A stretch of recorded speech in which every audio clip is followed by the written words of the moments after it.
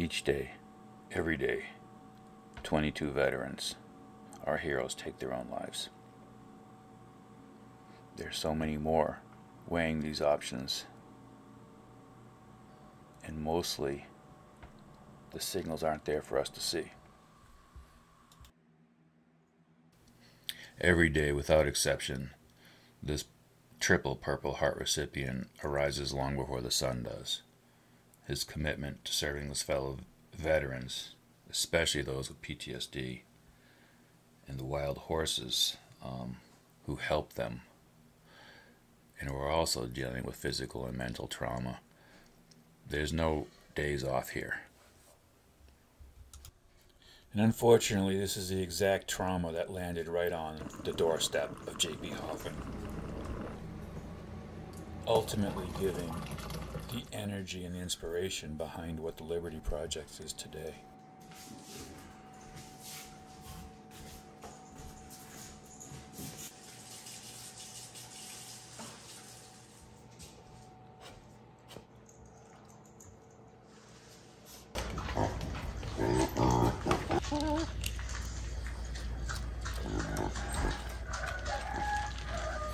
With the understanding of how close suicide slid under the radar and so close to him, the message was loud and clear from this point on.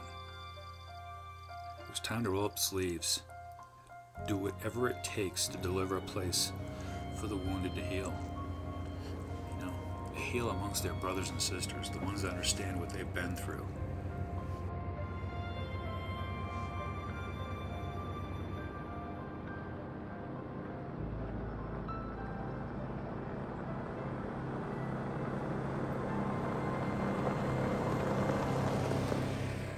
The other thing they help immensely is softening the trauma that's felt by these Mustangs as they're rounded up by BLM, the Bureau of Land Management. So, this idea to help his fellow vets and create liberty projects to take the two American symbols that have been left behind the American Mustang, who roam the wild prairies and are being rounded up by BLM, and we can go into that later, and the veterans who we all know the trials and tribulations behind the the services that are there or not there for these people we send off to protect ourselves here. So the idea came from a tragedy of loss and the idea that the signals weren't there. They weren't open, they weren't outwardly easy to see. And I ate at JP Hoffman for a long time until he came up with this idea to make sure that if he could catch anybody else and help them, there was an opportunity to do so in a quiet place like Sandy Valley.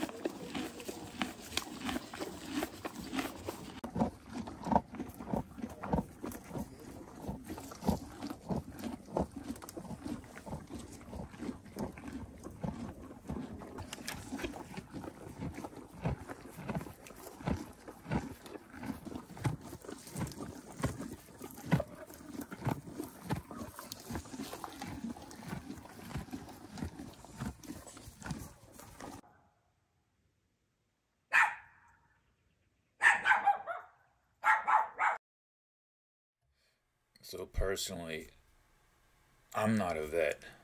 I've never served. I'm in between that Vietnam era through the Cold War into 9 11 and beyond. And, uh, there's a part of me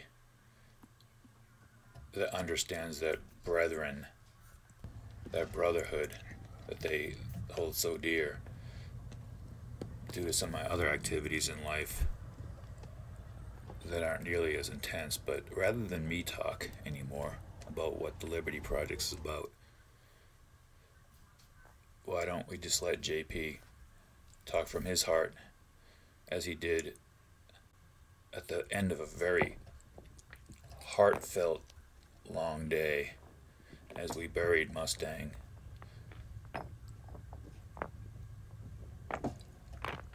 And he addressed his peers the way it should be one vet to another, one brother to another. and he's chosen to try to make a difference. Please welcome J.P. Lawler.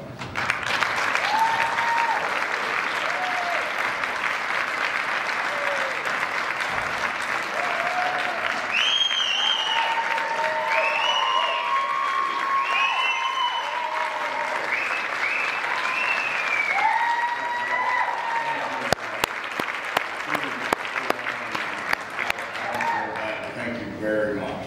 Yes.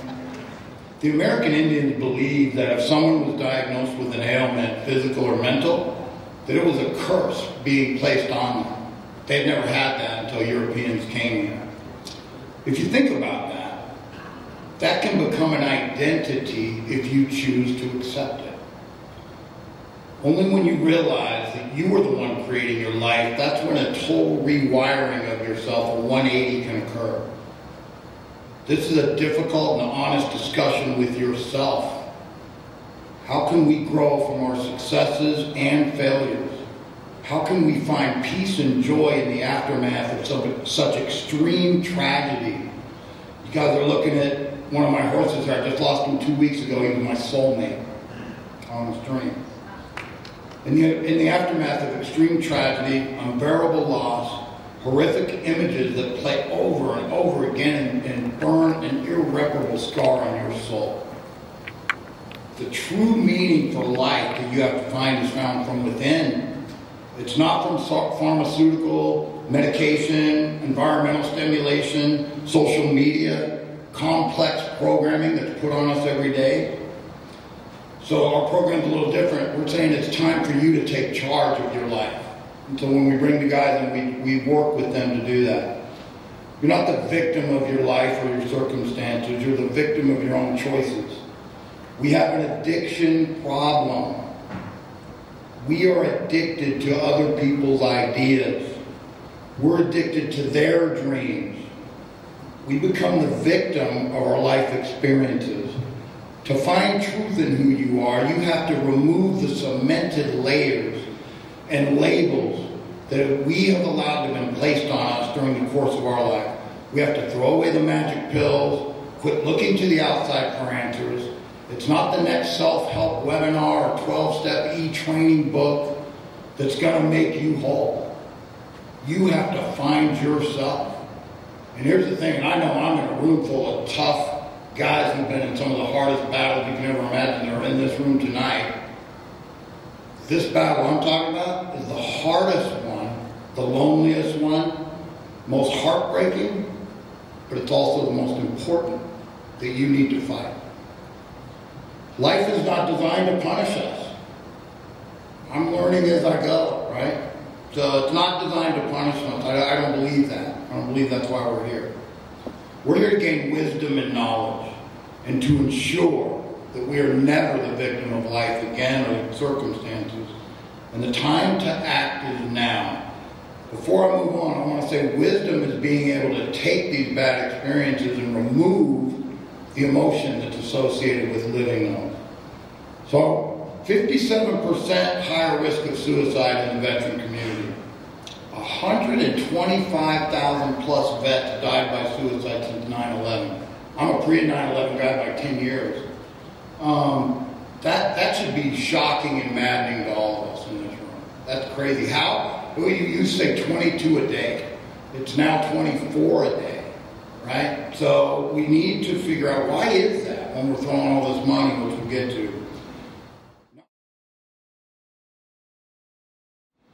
Now I'm going to talk about why the Mustangs instead of domesticated horses. There's equine therapy programs out there that are, you know, we're going to do an extreme horse petting program for three days. That does nothing. So we use we use the Mustangs. Another reason is because the vet can particularly identify with the Mustang. We take an unpurposed Mustang after they've been taken off the range with an unpurposed person at that point. Together they will find their purpose. I'm not going to tell them what it is. I'm just providing the tools and the backdrop for them to find it. so we have these two groups. Both have money, uh, government money thrown at them. You could argue it's not enough or it's too much. We're either group. So why is it getting worse, like I said? We're finding new life for the Mustang. We are in our program in law enforcement, ranching, rodeo, pets, trail riding, and then as well as honor guard. And so we've talked to a lot of the honor guard units, including Caisson Platoon in DC, and uh, they're all interested and wanting to use Mustangs in the program, which is great. But both need purpose, the Mustang and the person. What is a Mustang? I, I've been around horses my entire life, and I used to think if somebody talked to me about a Mustang, I wouldn't even talk to them. I had this image embedded in my soul that they were a 13-hand date that was running around, tearing up, eating up all the land. Boy, was I wrong. So Mustangs are much like us and much like our veterans. They come from various breeds. So there can be Appaloosas, paint, quarter horse. I mean, when you do the blood test on them, it's amazing. Draft horses are in the Mustang group. So they're from all these groups that are out there that are wild horses. And um, so I think that the, the, horses were simply turned loose from the 1600s to all the way to the Great Depression. Somebody would go broke, lose the ranch, get beat up, out of an area, they would just turn, open the gate, turn the horses loose, so they would escape. That's where this, that's where the population came from. So when the Mustangs are rounded up, they're often split from their family units. It's very hard, right? So there's they're split from their family units. The, the horse is very familiar. They're very much community members, right? They all have different tasks. I'm going to give you just a couple facts and then I'm going to move on. Some of you at the ranch today heard me spew some of these. The horses have the fastest reaction time of any domesticated animal. That, that's amazing to think that Mayweather could stand there and a horse could strike him in the face before he could block it, right?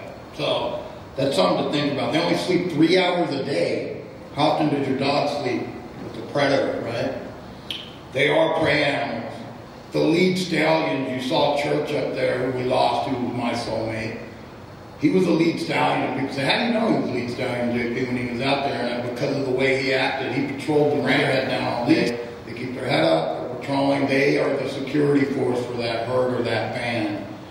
The lead mare job is to actually find food and water, and so everybody else falls in line in the group. Contrary to popular belief, and I, and I know it's not popular when I say it, horses aren't looking for friends, they're looking for leaders. And but they can be a trusted, trusted member of your family and with you. And just like I said, he was my soulmate. He was. So that that's where they can you can build a trust relationship like no other. If you're not the leader of the horse, they will quickly disregard you. you. They will put you in the path of where they think you are. They will disregard what you're telling them or trying to teach them. So it's it, when you watch a vet, and, and I've had I had one in particular come in, walks in the, the round pen, I get him in there with the Mustang. The Mustang starts prancing around, putting his head up, dancing, kicking out at him. And he's like, this horse is stupid, the horse is stupid, I, I can't do this. I brought him out, I walked in, I showed him the horse was totally different, and I said, they're a mirror to you. Whatever you're projecting and feeling inside, even if you're hiding it, they can sense it and see it, and they'll put it right back on you. They're literally a mirror. Sometimes it's hard for us to look in the mirror. They, they'll give you an exact, perfect picture of what you are. And so, that being said, he said, you know what? And it wasn't that day, it was later on, but he said, that's what my kids feel. I come home, I don't beat my kids, I don't beat my wife, but they feel it. So they're walking on eggshells. And he said, now I understand. That's what my kids feel. If I didn't do that, the horse made them do feel that. The government spends $330 billion a year on the VA system, 68 million in the wild annually, on the 68 million on the Wild Mustang program. Just something to think about. People always would said when we started the 501c3, we started the Liberty Project, hey man, can you, uh, you can go out and get government grants. So we hired, talked to some grant writers, Laura and I did start calling them. And every one of them had the same thing. You can pay us to write these grants for veterans. You're not going to get it. We'll go after the we'll go after the horse side. You're going to who do you know? Who can help you? Who can you put on your application in the grant? You can pay me and I'll go after it. But they said in our experience, now these people didn't know each other. So it's been an eye opener. So what we teach at the ranch, let's, let's go into that a little bit. I'm going to give you a quote. Whatever you vividly imagine, ardently desire, enthusiastically act upon, must inevitably come to pass. Gary Leffew was my bull riding instructor, and he came up with those words, and I'm sure he probably took them somewhere else, but that is a fact. And so that's part of where we're going to go here. So what we do is we do PT, breathing exercises. Evening we'll have a group session. We'll talk about one question, such as, um, you know, who, you, who we are or, or whatever. We'll ponder a question and discuss it. Also, you're going to learn the anatomy of a horse, how to pet a horse, how to catch a horse, how to groom a horse, um, all the way from that to riding. No ranching experience is needed. Or if you've been around horses your whole life, we'll take you to a vet and you want to be in the program. So it doesn't matter to us. You're going to learn how to pack and trail. You're going to learn equine nutrition and emergency horse um, uh, medical care. You're going to learn how to transport and drive horse trailers and trucks and how do you move them around and things like that. You're going to learn with You're going to learn how to cowboy shoe a horse. Out in the middle of nowhere on a pack trail and your horse a shoe, you need to know how to put a shoe on. So you're going to learn these things that are tough. They're not, they're not easy. And we also have the ability to have learn basic rodeo events from bull riding, saddle bronc riding to team roping. What they will have with them when they leave is, is that sense. Somebody's going to learn how to throw a rope on a cow, how to manage it, how to work cows, what a ranch is looking for, employees, and that kind of thing. And we help place people in this type of work. One of them's from Boston, never even saw anything outside of the city limits until he went in the military. So we can help with that because some of them need that. They don't want to talk to people anymore. They'd rather work around animals or on a ranch. We're going to have guest speakers like Nick Lavery, some rodeo stars, some people who are out there. Nick, if you don't know, if you always hear that saying, I don't know who the baddest dude in the room is, and, and we got some of them in this room that I know of. Um, Nick is that guy. So if you're wondering who that is, it's Nick Lavery. Um, Army Special Forces guy, above the knee amputee. Um, so these people have agreed to help and come in and talk and talk with our people. we, the, we, we need our partners here. I know there's some great 501c3s in the room that we partner, we want to partner with, and some that we are now. At the end of 60 days, when you're getting ready to pop smoke, we have one other challenge, and it's going to be tough, and it's going to be different for each group that we have coming through. Things you're going to discover in the program is examine and self-assess your current situation physically, emotionally, and financially. You're going to define the mission. In the Army, warrior ethos number one, I will always place the mission first. This is now your mission. You're going to identify the lines of effort required to accomplish your mission. Research. Now, your mission may be different. You may want to be an EMT, you may want to be a helicopter pilot, you may want to work on a ranch in Texas. I can't give you those. You're going to tell me what they are. We're going to identify those lines of effort, and you're going to do the research. This is key to move quickly through that phase. You don't want to bog down in it. There's too much information out there today. You got to move quickly. Then you're going to get the line of advancement, 25, 50, 100 meter targets, and you're going to focus on those. You're going to stop doing anything that takes away from the mission. You're going to force yourself to do the things you need to do. You're going to focus. There will be setbacks. Some of our guys are injured. Some are disabled. Good things come to those who work hard. Great things come to those who are willing to do whatever it takes. What is the cost of this ambition? You need to know before you come to our program. You got to immediately disregard the haters. The social media, your friends, the jealous people, blah, blah, blah. You got to immediately disregard it and put it aside. Who cares what they say? Loved ones will typically cheer us on. Why? Because they love us, right? Especially the vet, they know that. Your loved ones love you. But it can be also challenging because now you're on a mission. You're going to start missing time with you. You're not going to go to the pizza bar anymore because you're eating healthy. You're going to the gym, so they're going to start missing these time. We're going to create the BHAGs, the big, hairy, audacious goals, which by very name are long shots. They're Hail Marys. Resentment. When I use the term brother, it really means something when I'm talking to another vet or somebody still in uniform. It means something to all of us. Remember, Cain killed Abel. Why? Because of resentment. So we got to watch for that. Um, people will be, resent your successes. You may motivate some people. They'll be motivated. They'll be like, wow, you know what? He's walking five miles a day. I'm going to walk my five miles. So some people will be motivated and cheer each other on. Some won't. Some are going to feel like you're making them look bad.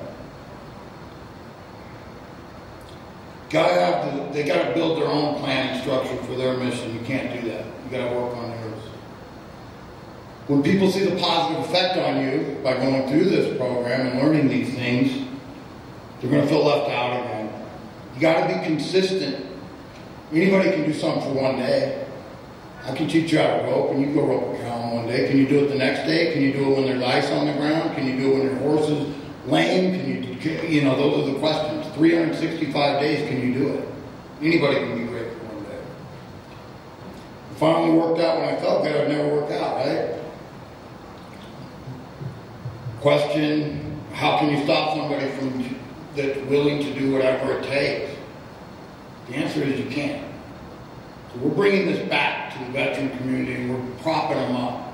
There's been too much of the, we're going to go pet horses and we're going to sit around and I'm going to take an air balloon ride or somebody's giving me a preseason ticket to a game that means nothing because, and then they go on pat themselves on the back that they did some a favor or, or PTS. And I know this talk is a little bit hard for people, but we're, we're a little bit different. So once you identify these things on the on the battlefield, it, it's important to know the position, detail, where they're going, what's the terrain, what's the weather, what's the cloud cover. The most important thing is where are you? You got to know where you are on the battlefield. If your goals change, then you're going to repeat the process I just went through. If your goals have not changed, like being an EMT or a pilot, you're going to repeat the process but now you're going to add in the stabilizer muscle things. You're going to start nuance, training yourself. You're going to start adding more details. You're going to get granular. But the process never stops. Not until your deathbed. you got to meditate. We'll teach visualization techniques. We're to work together. Um, I'm there. I'm still learning. I'm still going through it. I'm willing to do it every day. I'm not sitting back in some office somewhere having the guys go through the program. One unique thing as we grow, we want to prop up a veteran to come in and run the program at the ranches themselves who want to do that, and that may be their mission. But we want to cookie cutter this program around the country, and then we want the VA, we want the community leaders to come in, and we want real studies done. We believe we don't have the only answer, we have a, an answer.